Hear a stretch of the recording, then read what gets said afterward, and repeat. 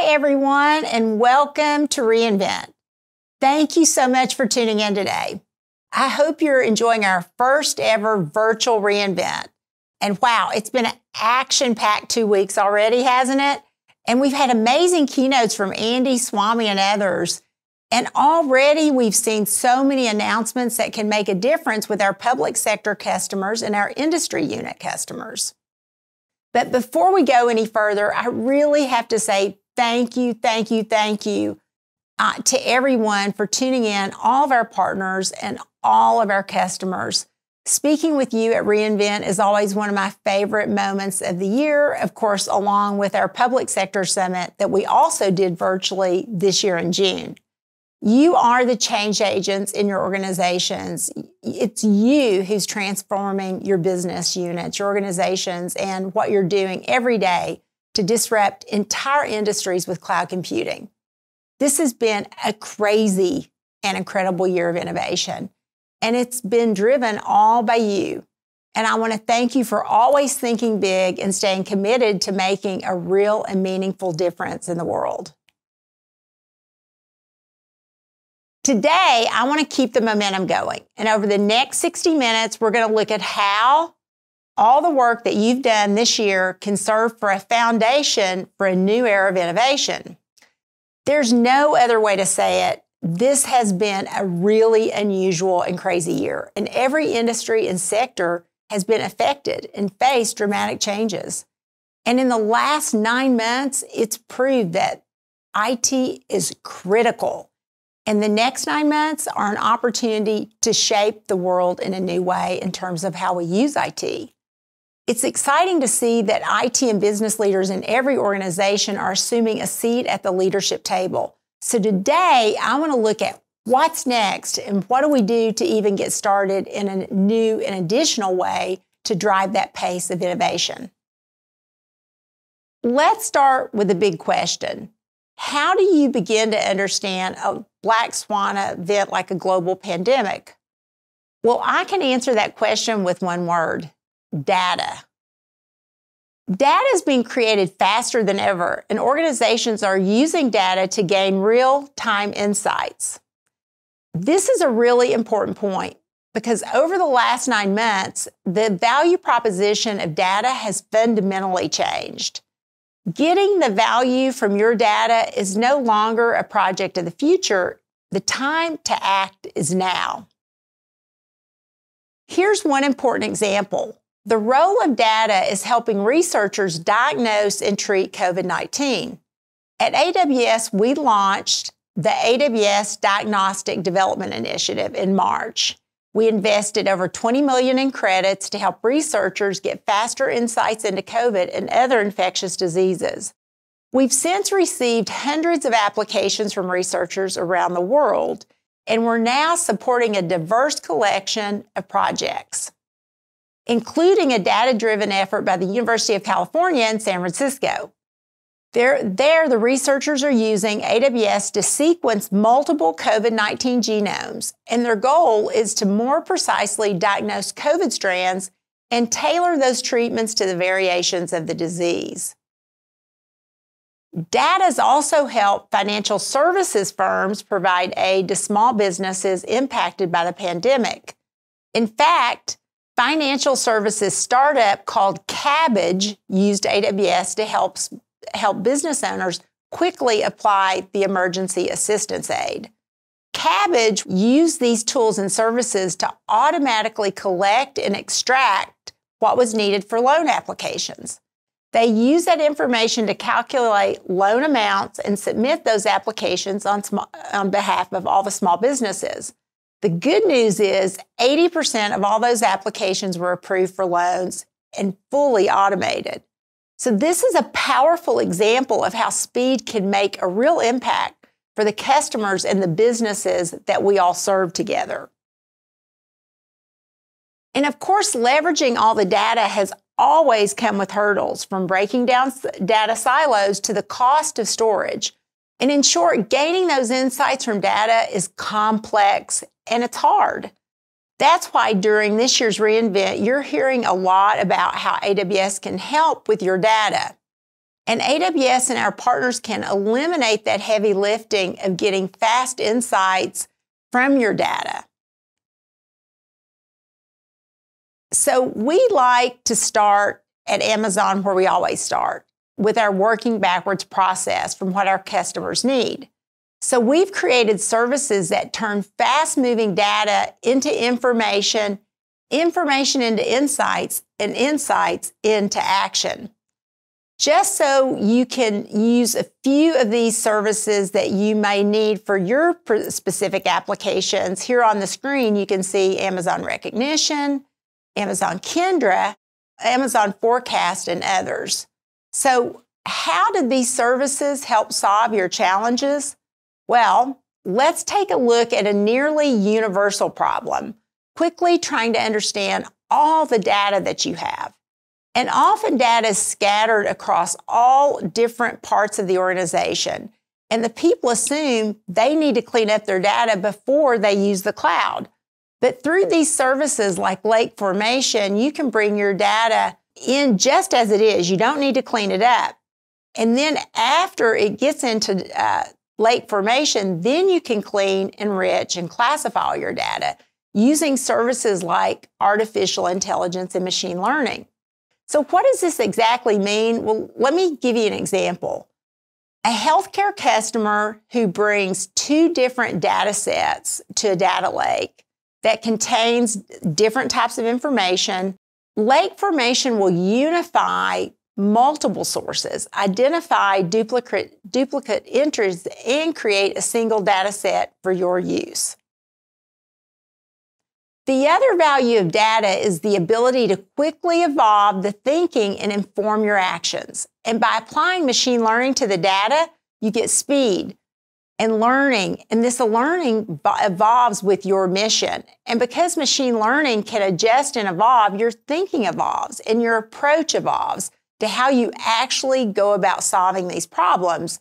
And we find that that brings speed to everything you're doing, which is super important, especially during a time like COVID.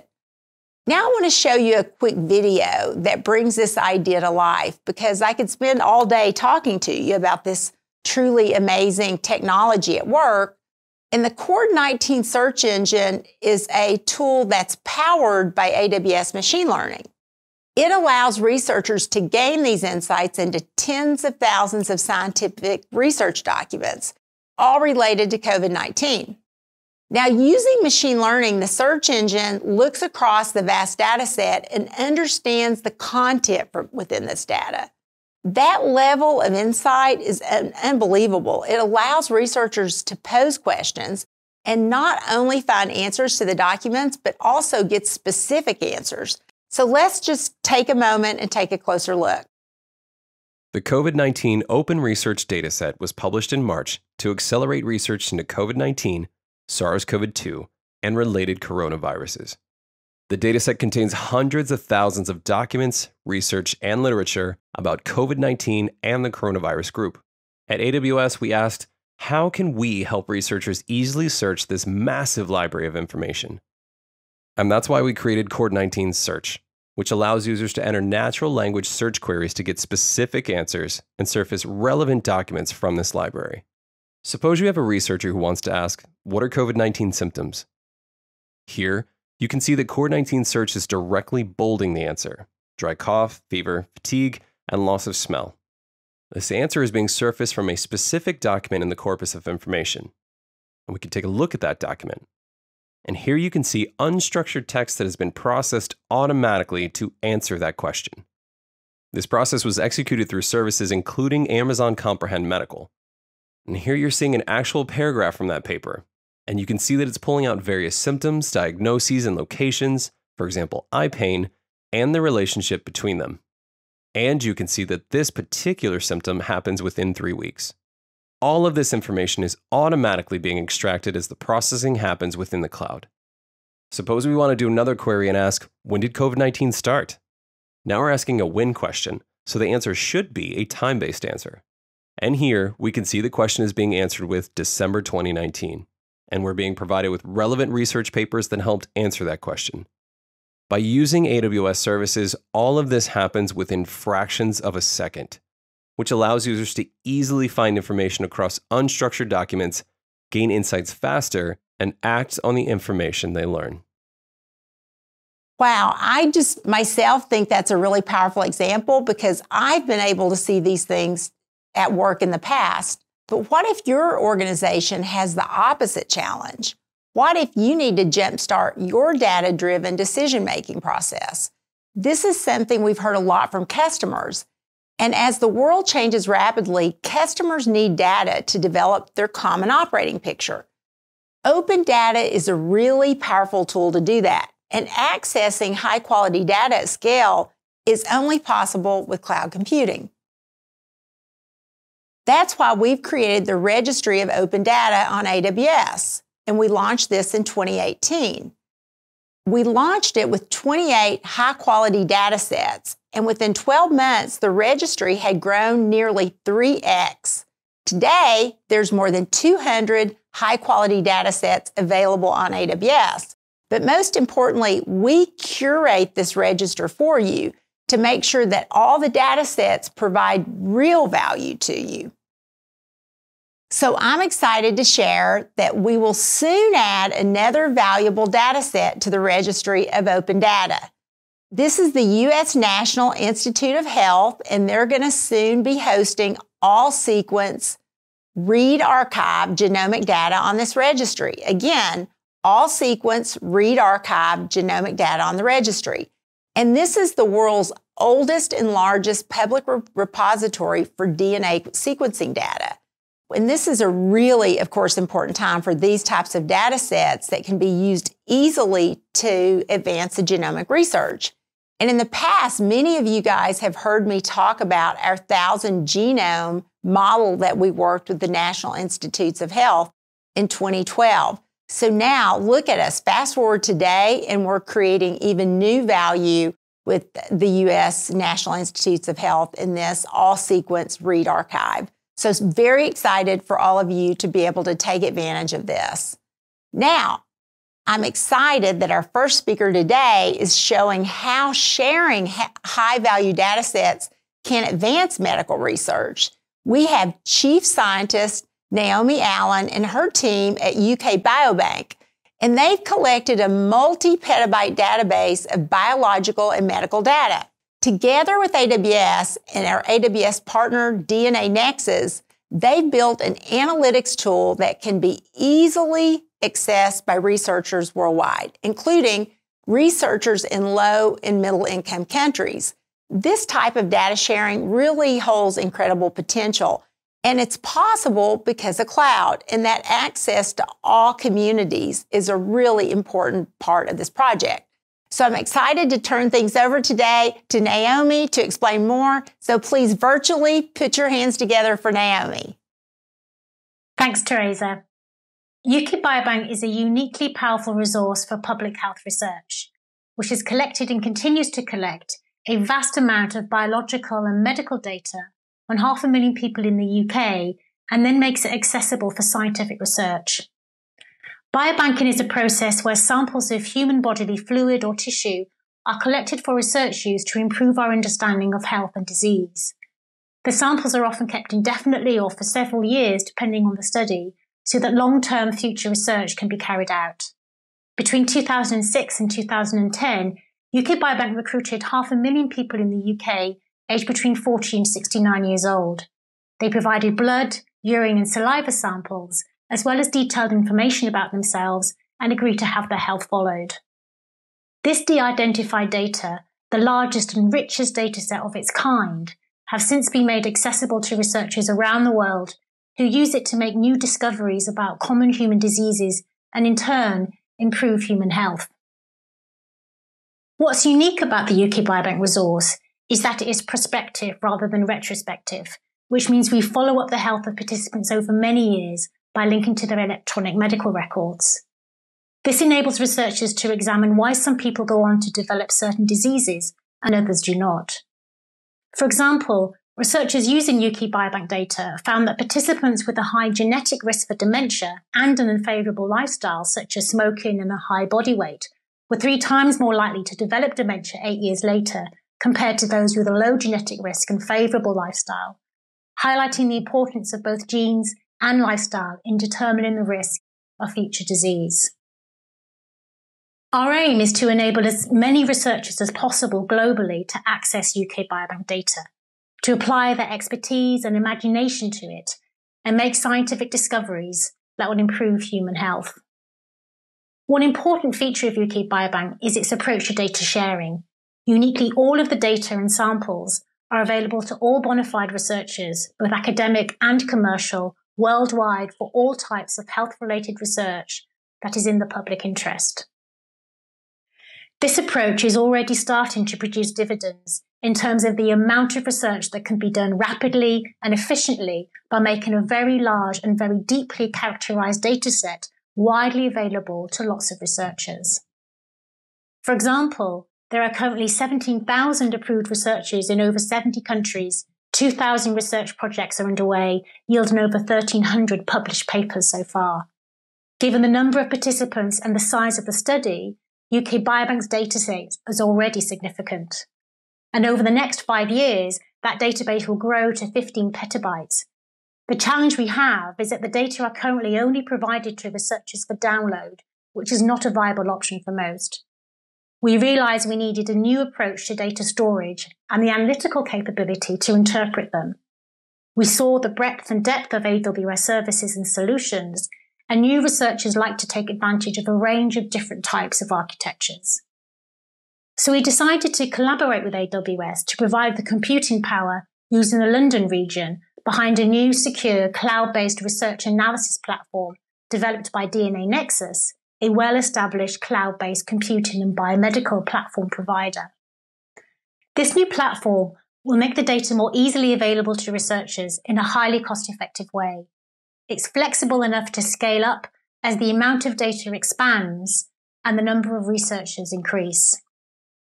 Importantly, it will also enable data access to a broader range of researchers around the world by democratizing access to those who aren't able to download it. AWS has also generously pledged $1.5 million in total research credits to support access to approved researchers from lower middle income countries and early career researchers helping to gain more interest in increased opportunities more broadly. And we're using the cloud in different ways to solve problems. One example is that AWS is helping us to implement automated processing pipelines for our cardiac imaging data. Another is that they are helping us to reach out to the research community much more effectively. Using our local IT infrastructure, it used to take two to three days to send emails to all 17,000 researchers Using the AWS email service, we can now send these emails in as little as 15 minutes, ensuring there's no first comer advantage. Since we started releasing data to researchers in 2012, we've moved from being a resource predominantly used by UK based academics to being a globally accessed resource used by academic and commercial researchers, not just in clinical research and life sciences, but in biotech and engineering, Technology moves at a fantastic pace, and researchers in life sciences are at the forefront of leveraging these technologies, whether it be bioinformatics, AI, and machine learning, or data visualization tools.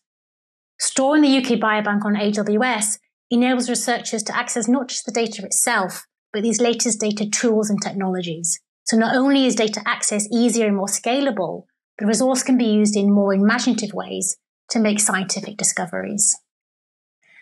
The success of UK Biobank relies on increasingly large amounts of data on the half a million study participants being readily accessible to all researchers.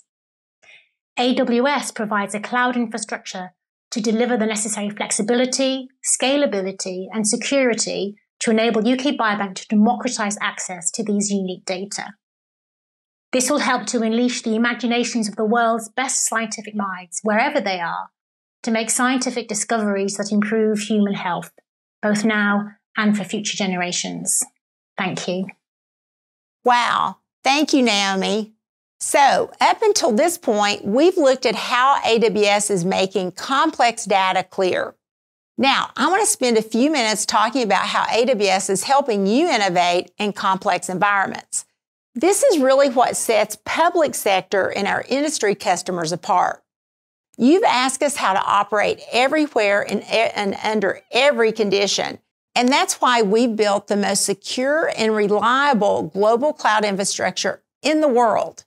This means that you don't need to come to us. We deploy AWS to where you are and wherever your mission is. This is probably best illustrated by the investments that we've made for our public sector customers. And that includes, of course, our really loved customers in the defense and intelligence communities. This is a really personal commitment for me. We were first out of the gate and we have never wavered on our support for these communities. And when I joined AWS in 2010, we had a clear vision that we articulated. And we give you the world's best technology, which allows you to focus on your mission and move much faster. Nearly 10 years ago, we launched AWS GovCloud, which was one of a kind region. It met all requirements for ITAR, which was highly unusual at the time. And today, we remain the only ITAR compliant region. And because of our customers' demand, we now have two GovCloud regions. And we remain the first and only cloud provider to offer regions to serve government workloads across a full range of U.S. government data classifications. AWS also supports more classification levels, laws, regulations, and security frameworks than any other cloud provider. And you'll continue to see us keep that up on a global scale. 90 services in the AWS US East and West regions authorized under FedRAMP moderate authorization. 76 services in the AWS GovCloud region authorized under FedRAMP High. Again, our unwavering commitment and support to our customers has made AWS the provider of choice for all of you. And with meaningfully more services and features within those groups than anyone else, so thank you all because these services are possible because of the demand that you have created. So thank you again to all of our customers and partners. And as a result of this, mission owners from, as an example, the U.S. Navy, the U.S. Air Force, the U.S. Army, and to the U.S. Southern Command and more, use all of these AWS services to move fast and deliver on their mission critical objectives. Let me just talk about the US Navy for a minute. They've migrated their largest SAP enterprise resource planning system to the AWS GovCloud. This system helps six U.S. Navy commands train, equip, and maintain combat forces ready to go. The Navy achieved their migration in 10 months. Listen to this 10 months ahead of schedule by using AWS Edge storage, edge computing capabilities. I, my heart grows. I'm so proud of the work that we've been able to do with our Department of Defense and to continue to support them and the national security customers. Again, the commitment we made over the past 10 years, we're still going and we have a lot to do together. The ability for us to navigate with you these complex environments is really critical for the business and the mission together. 5G is an example of something prompting a new era of innovation for the telecommunications industry. AWS is already helping partners and customers create their own offerings to capitalize on 5G. That includes Telefonica Germany, who started to visualize and virtualize its 5G core with AWS Outpost. With the energy sector, oil and gas companies, CEPSA Spain is applying AWS analytics and machine learning to reduce waste and energy use while increasing output. And within financial services, NASDAQ built a data lake on AWS that ingests 70 billion financial records a day. And this is just getting started. And Today, I'm also happy to announce that we're expanding our executive program called AWS Executive Education to leaders in the telecommunications, energy, and financial sector services industries. We started this program a couple of years ago because government executives and education executives told us that they wanted to learn more uh, as leaders and from leaders who had successfully embarked on driving their digital transformation. This short MBA style course is conducted jointly with leading universities around the world. It provides insights and knowledge based upon what we've learned and what we've done already. At the end of the program, participants join as an alumni network to continue sharing best practices and ideas together. And this year, we've moved to a virtual format, making it easier than ever to participate. And before I turn over the mic to our next speaker, I want to share one more example of a complex mission that's made easier with AWS. This June, I announced the launch of our new industry business unit, AWS Aerospace and Satellite. In the months since, our startup partner, Capella Space, has used AWS to support the launch of a new constellation of synthetic aperture radar satellites. And unlike traditional satellites, these satellites can see through cloud cover and darkness. And when fully deployed, the constellation will capture real time coverage of every point on Earth. This data gathered can support many critical industries, from weather forecasting to mapping to defense and national security. It's my pleasure to welcome our next speaker, Capella Space and founder, CEO, Payam Banazadeh. Thank you, Teresa. Four and a half years ago, I decided to build this company out of a deep frustration. I was dumbfounded when flight MH370 went missing on its way from China to Malaysia. This wasn't a small plane. This was a Boeing 777 with 283 passengers. After months of searching by all sorts of Navy fleets, it was never found. I wondered that if a 777 plane goes missing on this one planet we call home, what else might be going missing that we're not even aware of? It turns out a lot goes missing. We as humans still do not have the ability to monitor our own planet reliably and persistently. With 50% of our planet covered with clouds and another 50% at night, more than 75% of our planet is currently invisible to Earth imaging satellites, creating a significant gap in coverage and an unacceptable shortcoming of capabilities. Fast forward to today, Capella Space has designed, built, launched, and now operates the only commercially available American all weather and all light imaging capability from space with a resolution of better than 50 centimeter. Before Capella, the only organizations that could do this were governments of a few countries, and even then, they had to spend a billion dollars to get one of these satellites up which is not enough to provide the persistent coverage of Earth that's truly needed. In putting together the puzzle, building and operating satellites is solving part of it, an important part. However, the other part of the puzzle is focused on how quickly we can get this data into the hands of the customers who really need it. Traditionally, this has been a slow and tedious process and can involve a lot of manual input. The process of requesting imagery and receiving it from space typically takes longer than 24 hours on average, which is just way too long and unacceptable. It takes us a few minutes to conduct a search on our phone, less than an hour to order and receive warm food at our doorsteps, and only a few hours to travel across the US. Why should it take more than 24 hours to receive imagery from space? This brings us to our partnership with AWS. The ability to use AWS ground stations globally and their proximity to the AWS data centers means faster delivery timelines for our customers. We're able to scale up our computational power in the AWS cloud to quickly process our imagery, helping get that image delivery in less than an hour instead of the average of 24. That is a remarkable improvement and a mission enabling capability for our customers. this will empower our customers to use space data in ways never possible before.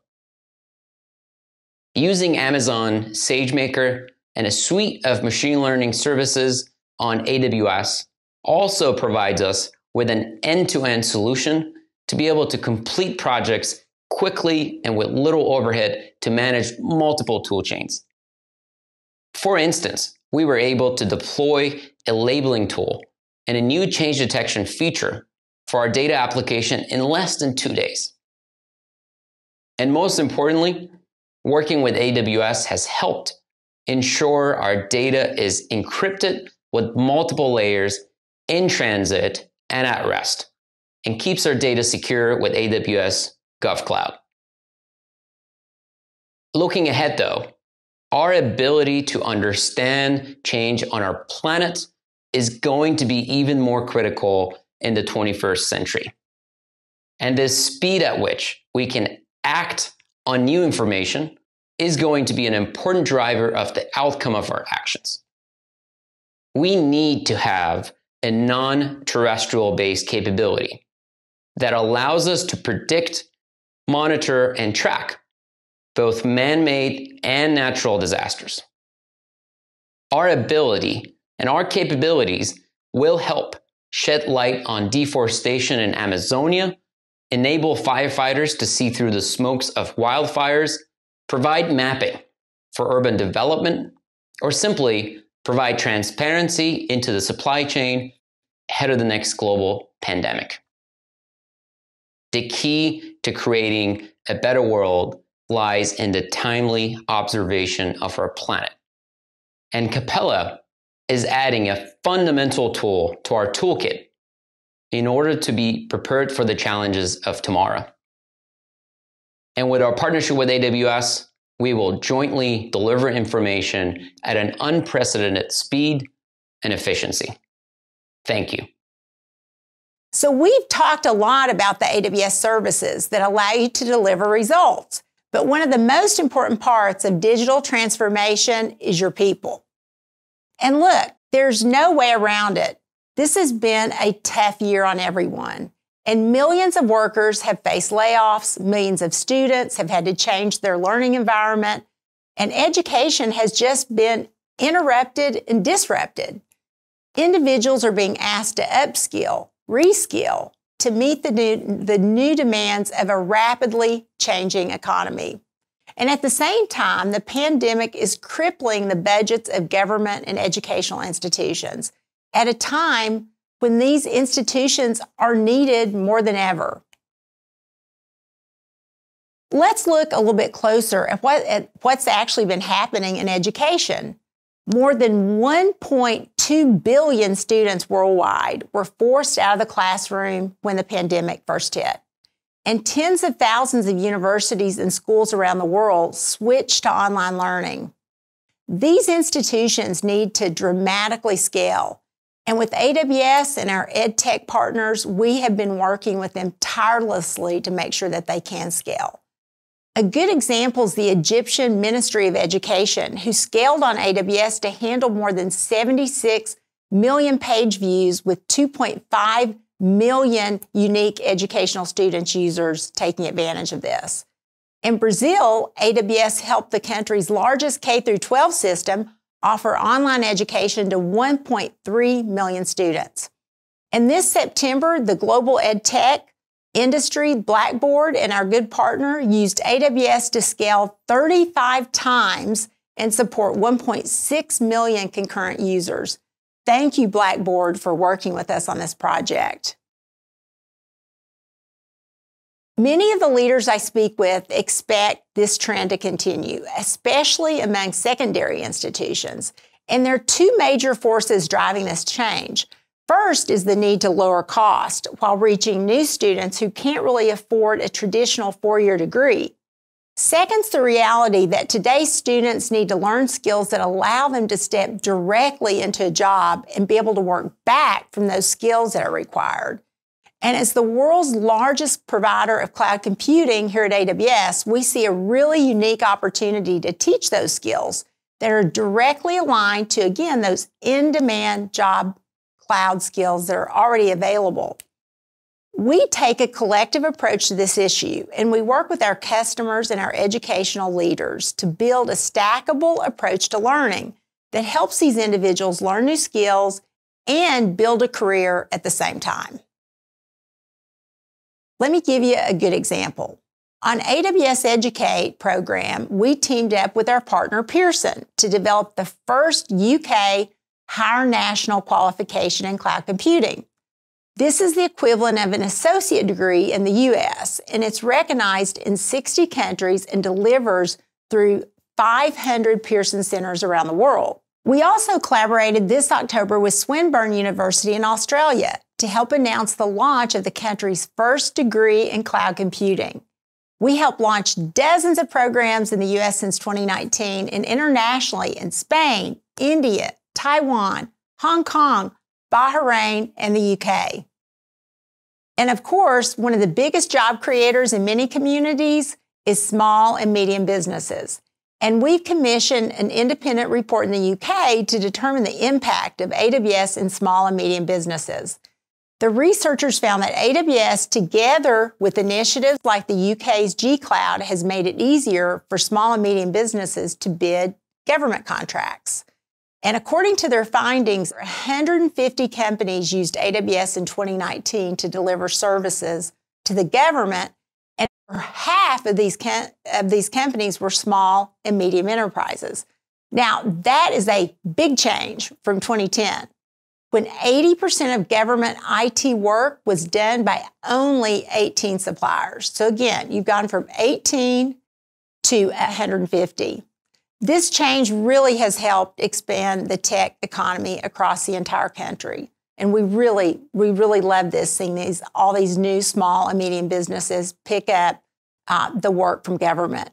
And we believe that these benefits can really be realized by all the small and medium businesses worldwide. Now, by supporting small and medium businesses, we can help create a sustainable future. And that's why Amazon is so proud to support a new development program for women owned and minority owned businesses in the renewable energy sector. This program is run by the American Council on Renewable Energy. And Amazon's going to sponsor the participation of small and medium businesses in this new program. Participants will have a no cost, will get no cost benefits, including legal services and access to renewable energy builders, buyers, financiers, and other targeted support. And of course, one of the most common small businesses in the world is small scale farming, which is near and dear to my heart, being from a farming community. And according to the World Bank, it's a major driver of economic growth. 65% of poor working adults made a living through agriculture. And this was just in 2016. And agriculture in some countries can account for 25% of the GDP. So uh, despite its importance, a lack of connectivity can really hold farming back. So, by harnessing the power of AWS and cloud computing with machine learning services, the social enterprise WeFarm is connecting a network of small scale farmers. This network can help farmers increase their yields, grow their business, and continue to feed the world. So, again, it is my pleasure to introduce the CTO of WeFarm, Adam Nilsson. And he's going to explain more about what WeFarm is doing to connect these businesses and farmers around the world. Thank you, Teresa. WeFarm is the world's largest platform for small scale farmers. We have over 2.5 million members who use WeFarm to share knowledge within the community and buy farming inputs through our marketplace. The small scale farming industry is the most important and one of the biggest industries on the planet.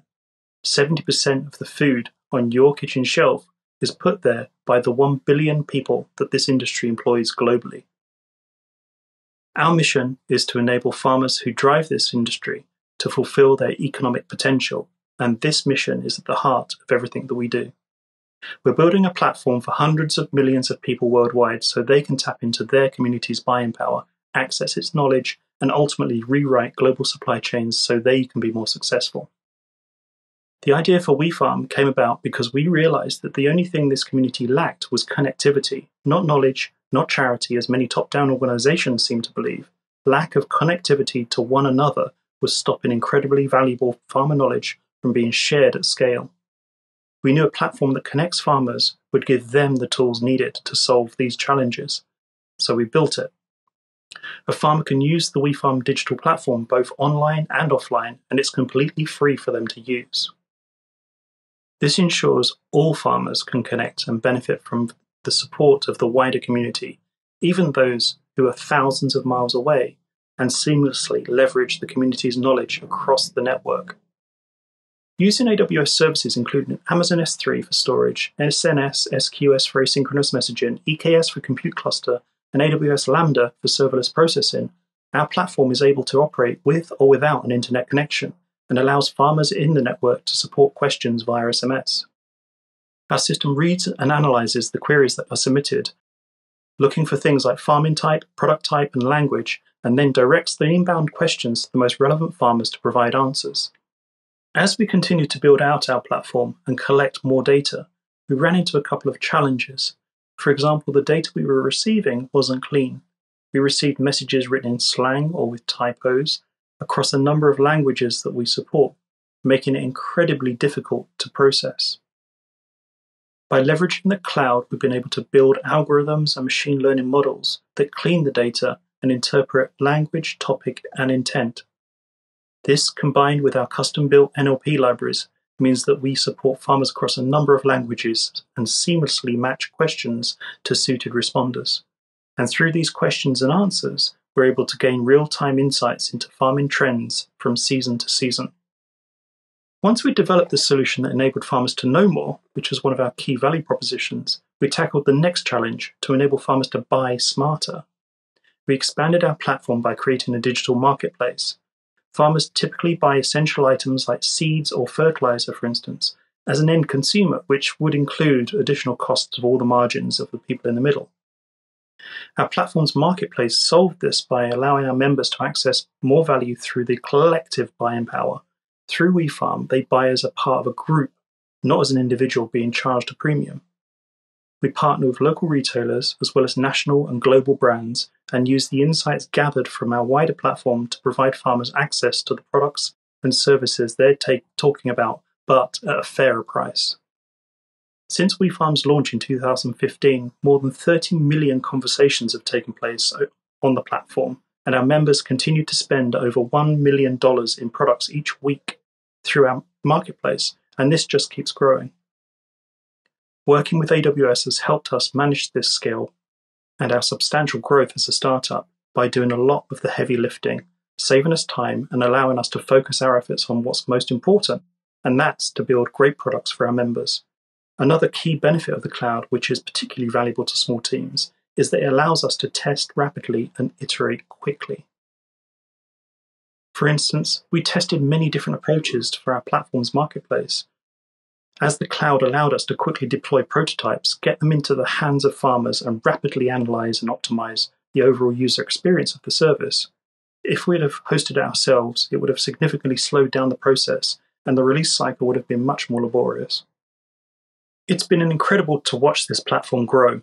When I first joined WeFarm, we had a few thousand members. Now, just a few years later, we're setting our sights on connecting 100 million people.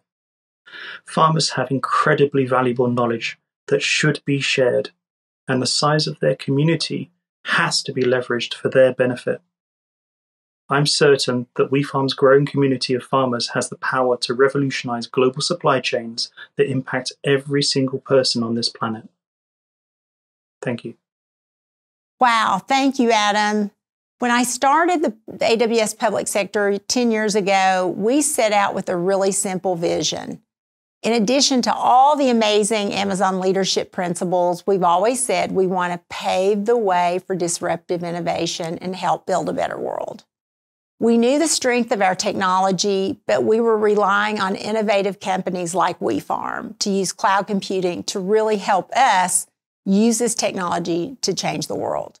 And the work that Adam and his team are doing is really helping deliver on that promise. And before I close today, I want to share with you one more announcement to help deliver on that promise. Every year, my team and I try to do something to give back during reInvent. And this year, I'm honored, along with my entire team, to make a donation to two organizations working to reduce hunger around the world. First, we're donating to the UN World Program. Last year, the World Food Program delivered food assistance to more than 80 million people in 75 countries. We're also donating to Three Square Food Bank in Las Vegas.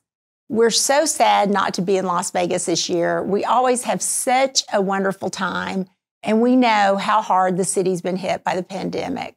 So I hope that our small gesture provides some relief to the communities world, worldwide that we love so dearly and have loved us through our partnership.